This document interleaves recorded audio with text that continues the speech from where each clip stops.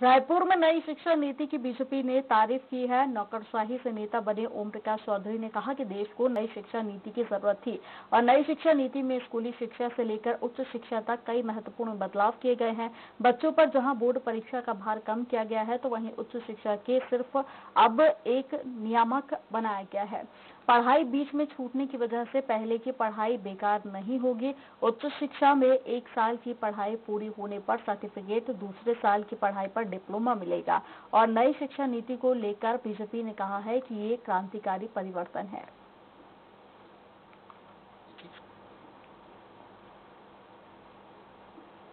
और जो अव्यवहारिक और देश को, समाज को पीछे ले जाने वाली, शिक्षा व्यवस्था को पीछे ले जाने वाली जो मैकाले की चीज़ें थी, वो अभी भी हमारे एजुकेशन सिस्टम में कहीं ना कहीं बनी हुई है। इन्हीं सब बातों को ध्यान में रखते हुए नई शिक्षा नीति लाई गई है।